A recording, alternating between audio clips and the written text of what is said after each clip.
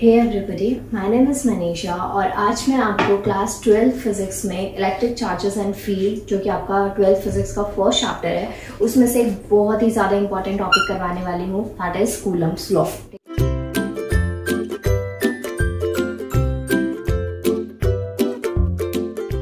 ठीक है? इसका जो नाम है ना कूलम्स लॉ बहुत ही ज़्यादा इंपॉर्टेंट और बहुत ही ज़्यादा इंटरेस्टिंग टॉपिक है। बहुत बार ये सुना भी होगा कूलम स्लो क्या होता है? सो so, 1785 में एक साइंटिस्ट जिनका नाम था चार्ल्स बेटा मैंने जिनका नाम था चार्ल्स ऑक्सटन कूलम ठीक है? सबसे पहली चीज़ ईयर 1785 और जिनका नाम था चार्ल्स ऑक्सीजन कोलम ये फ्रेंच के थे। इन्होंने अपने एक एक्सपेरिमेंट के थ्रू और यू कैन से इन्होंने एक्सपेरिमेंटली मेजर किया electric force between the two charge particles ठीक है? Through a torsion balance torsion balance what is this ये एक डिवाइस है which is use to measure force ये एक सेंसिटिव डिवाइस है, जो टॉर्शन है, ये एक सेंसिटिव डिवाइस है which is use to measure force ठीक है?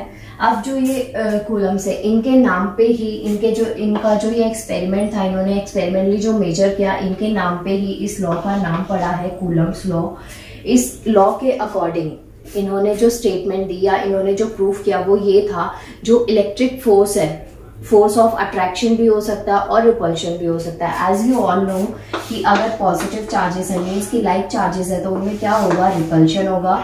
और अगर चार्जेस क्या है? ऑपोजिट है तो उनमें क्या होगा? अट्रैक्शन सो so, इनके अकॉर्डिंग जो फोर्स ऑफ़ अट्रैक्शन है और फोर्स ऑफ़ रिपल्शन है between two point stationary charges stationary charges का मतलब है सपोज़ यहाँ एक चार्ज है और यहाँ एक चार्ज है। यहाँ point charge Q one and यहाँ पे पॉइंट चार्ज क्यू टू ये जो दोनों चार्जेस हैं, ठीक है, इनके बीच का जो डिस्टेंस है दैट इज़ आर ये दोनों फोर्सेस इनका जो मैग्नीट्यूड है, वो डायरेक्टली प्रोपोर्शनल होगा एंड जो डिस्टेंस है, वो इनवर्सली प्रोपोर्शनल होगा square of the distance between them ठीक है? इस डिस्टेंस का स्क्वायर होगा। कुलम्स लॉ स्टेट्स दैट आप यहाँ इस डेफिनेशन को लिख भी सकते हैं Coulomb's law states that the electric force between the two charges force of attraction और repulsion between the two stationary point charges stationary point charges में आते हैं आपकी Q1 और Q2 the magnitude of the both these charges is directly proportional to the electric force ये जो force है इसके directly proportional होगा इनका magnitude of product of magnitude and inversely proportional होगा square of the distance between them ये theory हमें Coulomb's law से मिली थी या इन्होंने हमें ये थ्योरी दी थी। अब इसकी स्टडी कैसे करते हैं? इसका एक्सप्रेशन कैसे? है मैं आपको वो समझाती हूँ। लेट मी रब दिस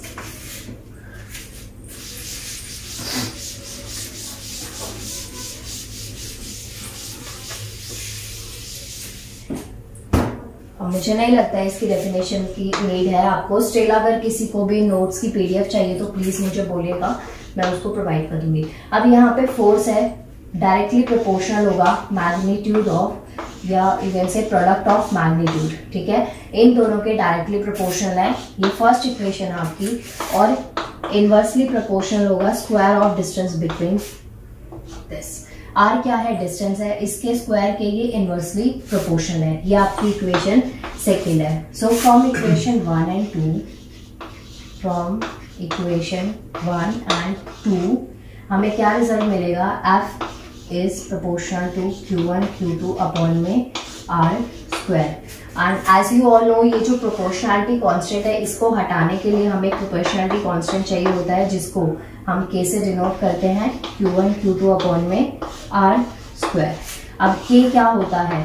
के को आप डायलैक्ट्रिक डायलैक्ट्रिक कांस्टेंट भी कह सकते हैं या इलेक्ट्रोस्टैटिक फोर्स कांस्टेंट भी कह सकते हैं। इसकी एसआई यूनिट और ये क्या है, इसके क्या इंपॉर्टेंस है, इसके ऊपर मैं ऑलरेडी एक वीडियो लेकर आ चुकी हूँ, जिसमें मैंने first chapter electric charges and field की सारी इंपॉर्टेंट एसआई यूनिट्स और कुछ इंपॉर्टेंट फॉर्मुलेज उसमें डिस्कस कर रहे थे, जिसका लिंक आपको डिस्क्रिप्शन में मिल जाएगा। तो प्लीज़ उस वीडियो को देखिएगा। उसके बाद आप इस वीडियो में कोई भी आपको डाउट होगा तो आप कमेंट करके पूछ सकते हैं। अदरवाइज़ वो वीडियो देखने के बाद इसमें कोई डाउट मुझे नहीं लगता, आपका रह जाएगा। जाएगा सो so, यहाँ पे है F is equals to K Q one Q two upon में R square so as I told you K is dielectric constant और इलेक्ट्रोस्टैटिक फोर्स कॉन्स्टेंट तो के की जो वैल्यू है के डिपेंड्स अपॉन के किस किस चीज़ के ऊपर डिपेंड करता है? तो के डिपेंड्स अपॉन फ़र्स्ट पॉइंट जिसके ऊपर के डिपेंड करेगा नेचर ऑफ़ मेटीरियल ठीक है? ये आपका चार्ज है क्यू वन यहाँ पे चार्ज है क्यू टू इनके बीच का जो डिस्टेंस है वो क्या है? आर तो जो आपने चार्जेस लिए Q1 और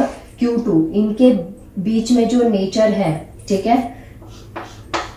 नेचर ऑफ़ मीडियम उसके ऊपर डिपेंड करेगी के की वैल्यू और सेकेंड पॉइंट जिसके ऊपर के की वैल्यू डिपेंड करेगी वो ये, जो ये यहाँ पे है हमारे पास वैल्यूज़ एफ़ है क्यू वन है क्यू टू है और आर है।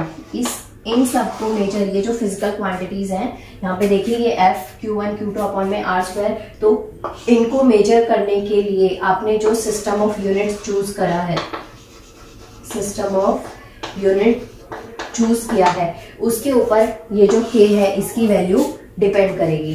के की वैल्यू डिपेंडेंस के बाद में जो नेक्स्ट टर्म आती है हमारी F is equal to K Q one Q two upon में आर स्क्वायर यहाँ पे क्यू वन और क्यू टू ये कूलम्स में है, ये चार्जेस है। आर डिस्टेंस हो गया के प्रोपोर्शनैलिटी कांस्टेंट हो गया।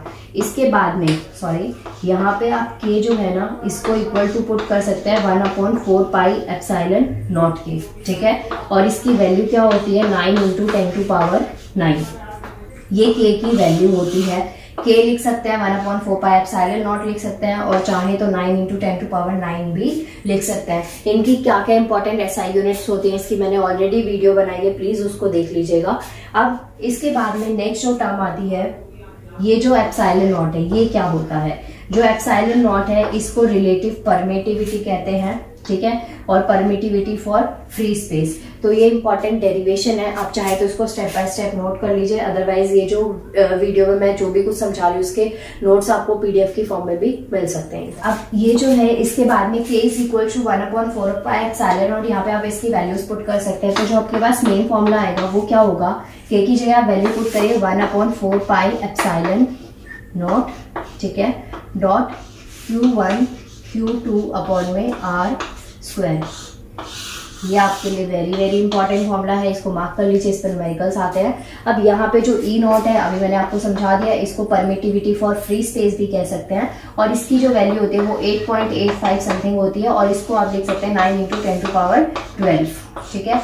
अब, इसके बाद में जो इसमें चीज़ आती है जो ये है आपका रिलेटिविटी फॉर्मेटिविटी अब इसके अलावा ना, इसमें आपके पास कई बार इसका रिलेशन पूछा जाता है, इसका कंपैरिजन पूछा जा सकता है कि जो के है, इसके लिए ये वैल्यू होती है वन पॉइंट फोर एप्साइलन और बट इसके अलावा इसका क्या आप रिलेशन है, इसका कंपैरिजन कैसे कर सकते हैं? इससे जो नेक्स्ट वीडियो है, उसमें मैं आपको coulomb slow in vector form करवाऊँगी। मीन्स की अभी मैंने आपको ये चीज़ समझाई कि ये जो है ना चार्जेस स्टेशनरी पॉइंट चार्जेस है क्यू और क्यू ये अट्रैक्टिव भी हो सकते हैं और रिपल्सिव भी हो सकते हैं। लेकिन ये पर्टिकुलरली अट्रैक्शन होगा इनमें या रिपल्शन होगा, ये चीज़ आपको coulomb slow in vector form जब आप देखेंगे तो आपको समझ में आएगा। तो इससे जो नेक्स्ट वीडियो है, उसमें मैं आपको डायलेक्ट्रिक कॉन्स्टेंट और रिलेटिव परमिटिविटी का relation plus Coulomb's law in vector form करवाने वाली हूँ। इस वीडियो को ज़्यादा से ज़्यादा शेयर करिए। अगर आपको इसमें जो भी मैंने डेफिनेशन बोली अगर वो आपको रिटर्न में चाहिए तो प्लीज़ मुझे कॉमेंट करिए। एंड प्लीज़ चैनल को सब्सक्राइब करिए। Thank you so much